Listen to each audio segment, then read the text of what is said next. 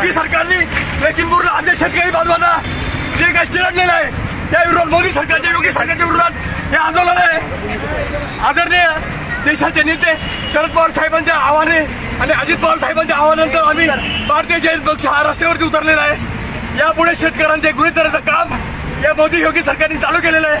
जर का ते बंद नाही केलं तर योगीच्या आणि मोदी सरकारच्या घरामध्ये घुसून आम्ही जाऊन मोदी सरकार